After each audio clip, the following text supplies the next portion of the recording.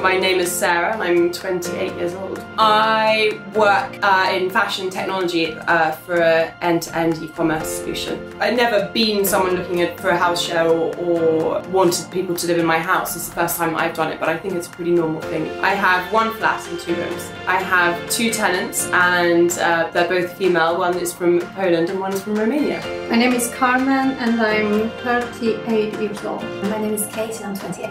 I work business development manager. I work in like admin in Tina Turner, the musical, and I also like I'm a budding actress and I do temping around the city. Carmen, I love that the fact that she's so clean and she's like such an in the way she uh, approached the apartment, and that was something that I was looking for in a flat. There's so many young people who come to London pursuing all sorts of dreams.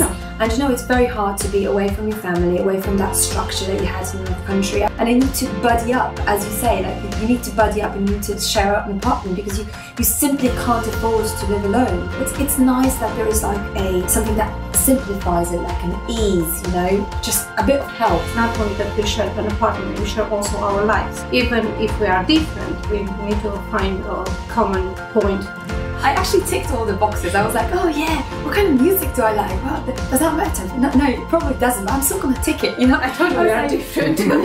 extremely different.